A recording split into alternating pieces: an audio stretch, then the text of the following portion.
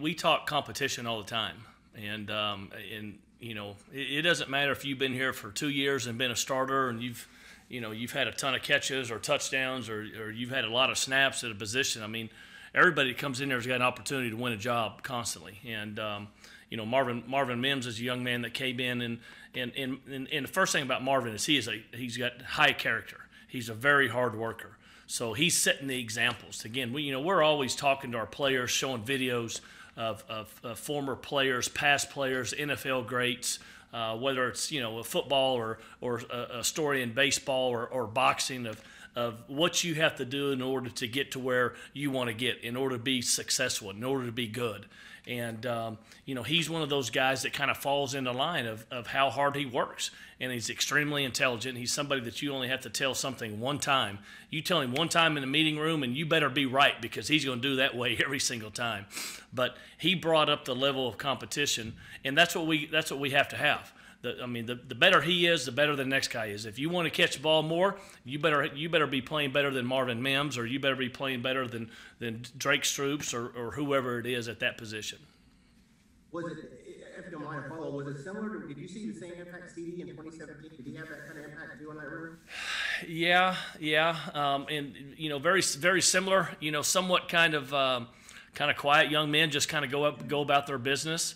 Uh, they're not somebody that's a, a, a, very vocal guy. It's it's interesting though. Marvin is starting to become a little bit more vocal, um, and I think I kind of get that out of him because I'm a vocal person and I challenge a lot. Uh, so um, you know, especially in drills out there, if I'm anywhere near, he's going to find me and uh, he's going to make damn sure that uh, that he that he that, that I feel him whenever he comes and attacks me, whether it's running around or or or you know or um, you know blocking on the perimeter. But I would say those guys are very similar. Um, Marvin's heading in the right direction. Uh, still got a long way to go. Uh, glad he's here with us. Oh, thanks a bunch. Have a good week. Thanks, Eric. Ryan Aber and then Joe Bettner. Hey, Cal. Uh, hey, Brian. Yeah. Hey, I want to ask you about another of your guys, uh, Mario Williams. Uh, what have you uh, seen from him uh, so far? What stands out to you, and just uh, what kind of impact do you think he can have uh, quickly in this offense? He's got a chance to have an impact. Um, very fast, one of the fastest players on our side of the ball. Um, he's a um, he, he loves to compete. He loves to practice. He loves to play ball. Um, and um, and he's just he's a, he's a good player. He's he's an intelligent young man. Uh, he's gonna you know he's, he's there's an opportunity for him to help us in the in the return game somewhere, especially in special teams. Um, but you know the opportunity for him to be out there and to be able to stretch the field, and uh, and again, as you guys have seen with all our wide receivers, our guys, I mean they're going to play inside, they're going to play outside, they're going to play left side, they're going to play the right side. But but he's definitely for for a um, young man that still should be in high school right now, he's awfully impressive out there. And, and again, he's just he's he's fast. He's he's got speed. Um, you know, we were talking out there today, and I, I made a comment on the headsets that you know you typically just don't see balls overthrown to the real fast guys. They just have they have a, they have a way to go to go attack the ball. And um, again, besides the football side of it he comes out there every day. He just loves to compete. He's always got a smile on his face. He just he, he, he loves football. He, he loves competition and he loves football. And um, glad he's here with us. Appreciate it, Cal. Have a good one. Yes, sir. Go back to Norman Transcript and then Jason Kersey. Okay. Hey, Cale, you're you know one of many former OU players now, assistants with the program, and you've seen a lot of those guys now in with Marco, Joe Jon, Calvin. I'm curious, just being a coach uh, around those guys that have built into that, how easy is it to identify maybe a, a, current player that you think is on a trajectory to you know be a coach one day? Is that easy to identify when they're when they're in college playing the game? Well, when you you know when I look back on it, um, you know it's a it's a great question. When I look back on it, you could see the leadership skills that those guys had. Um, you know they were they were competitors. Um, and we've we've had a lot of competitors down here around here, but they were, you know, it, it, it takes something a little bit different to to be able to step right out as a as a young assistant and to be able to lead a room, to be able to have that energy to go on that road and be able to recruit, um, and and to be able to battle, you know, all the top, you know, uh, college programs across the country. And um, you know, you look back on it, all all these guys that are here, you know, from Calvin Thibodeaux to to Joe Jon to Brian Odom to DeMarco Murray. You know, first of all, you know, very good people. You know, high character guys, guys that never had any problems, never had any problems here, never had any issues. Very successful college football players, and some of them had success after college. Um, but you know, they're dedicated, uh, great character, hard workers, and um, again, that, that all that stuff kind of typically finds those guys. Thanks so much, Cale. Yes, sir. Thank you. Jason Kersey, The Athletic, and then Austin Curtright. Morning, Cale. How are you? Good, Jason. How are you? Good. Hey, wanted to ask you, as a former OU quarterback yourself and someone who's seen Heupel, White, Bradford, all the great ones you've had through the years, what does Spencer do that, that makes him unique and special, and, and how good do you think he can ultimately end up being? Well, you know, you're, you're naming you're naming guys that were obviously very successful as also. You know, you're naming some guys that were Heisman Trophy quarterbacks. Right, you know, right. um, you know, guys that uh, won a lot of championships, uh, competed at a high level. Um, you know, set a lot of records, um, and and definitely feel like you know we feel like that that Spencer's on that trajectory to head in that direction. You know, I think the one thing that's kind of a little bit different in in you know with with Spencer is um, the, the ability to make a lot of different throws with a lot of different arm angles. Uh, you know, pr- probably you know he throws the ball a lot of times in situations or, or going to his left or going backwards where most coaches would say you don't you don't you should not be doing that. Uh, but this, this is something that he is you know he's he's worked and he's trained ever since he was in high school. He's spent a lot of time doing that. Um, I can remember we used to watch some of the workouts and um, that his his trainer you know had him do back home, and and a lot of the stuff was different than than most of the true quarterback drills that that you know they have young quarterbacks do. Um, again, he's still got a, a, a lot of his career ahead of him, um, and and in order to get where those guys um, where they got. He still has to do so much. I mean, he he has to be every bit as good in the in the meeting room and spend all that time in the meeting room as he does out on the football field. And and you guys seen him throw the ball around. Uh, and, and he'll be the first one to tell you. Obviously, I didn't speak with Coach Riley. I mean, there's still a lot of things that he can do to become a, a better football player. And um, you know, when you're you're you're leading, uh, uh, when you're the quarterback and and you're you're going to lead this team, you're going to be a captain. I mean, you're you're you're voted a captain. You're going to be a captain already. You know, and we haven't voted captains. And I'm not saying I should not have said that, but I mean, you guys know what I mean. He's going to be the one of the leaders of this team because he's the quarterback of the University of Oklahoma. So there's there's great responsibilities there. Um, and um, as a young guy, he's you know you can I can see those things. I can see some of the change in him, you know, from last fall to this spring, where he's trying to step up and, and, and take more responsibility. Thanks, Cale. Yes, sir. Austin Curtright, OU Daily, and then John Hoover.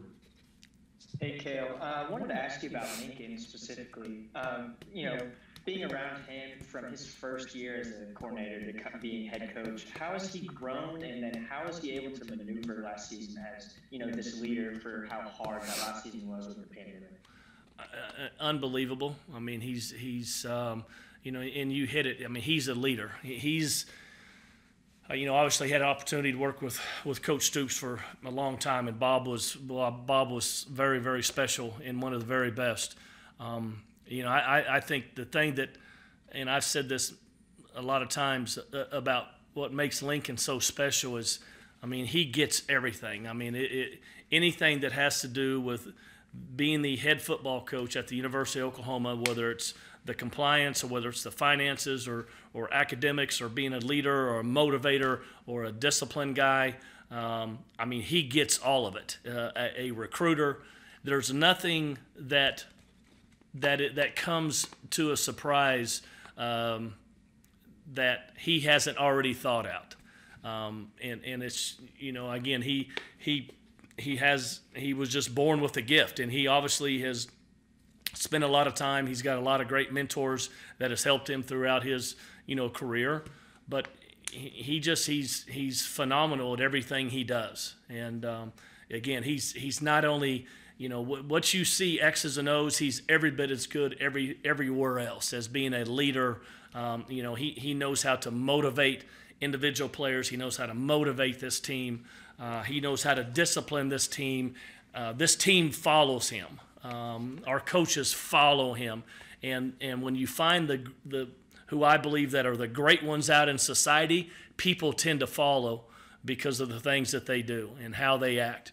And um, he he's um, he's you know again he's the he's the best in our business. I mean, there's no doubt in my mind he's the best in our business. I haven't worked with you know obviously everybody, but I'm not even going to. I, I wouldn't even want to think about working for somebody else as long as I can work with Lincoln Riley. Thanks, Cale.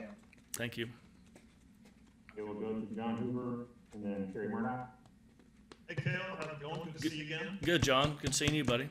Yeah, so recruiting, you're kind of your forte. Uh, it's changed a little bit over the past few years. Uh, I'm sure you're glad to get the dead period out of the way finally, but overall, in general, you've got the one-time transfer rule coming up. Um, you've got NIL legislation coming up. Recruiting is going to change even more, obviously. So where do you see it maybe going in the next few years, five years? Um, what, what kind of challenges would you expect that you'll that you'll face? And then, um, is there anything that's going to happen that people aren't talking about right now that maybe you're anticipating could be a problem? Well, I don't. I don't know if there's anything. Uh, you know, a lot of stuff that's kind of started to happen is has been happening. You know, it, it's it's there's there's um, it, it's definitely going to change. Um, you know, with the with the one-time transfer rule, uh, you just wonder.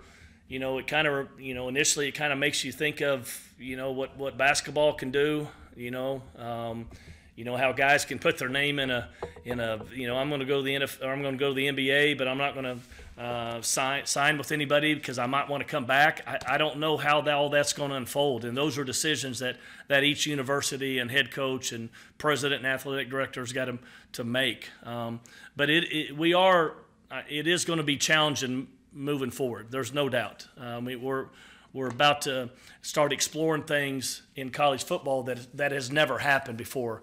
Um, and I, I, think that you know the relationships that uh, your coaches and the staff has with your players um, has always been extremely important. I think it's got to be even more important now. I think you got to know where your players are, um, you know, mindset when it comes to um, you know being a part of this program and wanting to stick with this program um, instead of guys just you know wanting to jump ship and go somewhere else. And um, but you know we again we're, we're going in, in, in, into stuff right now that we've never been into right now. But as a staff and as Coach Riley, you know we're we're trying to in our minds we're trying to think of what other things could possibly be happening. We're we're trying to uh, prepare ourselves for something to happen in, in six months or a year from now. And and you know recruiting has changed so much, as you said, over years. There's so many different things that have changed. Um, you know, the social media has made it, you know, has changed the just the world we live in itself, but it's also changed the recruiting side of it. So, um, don't really want to go into what we think are ideas of things that could possibly happen down the road, but but it is. It's it's going to be challenging. But you know what? It's going to be challenging for everybody, and um, it is what it is. And at the end of the day, we got to get the guys ready that are here uh, to be good football players and to help us win football games.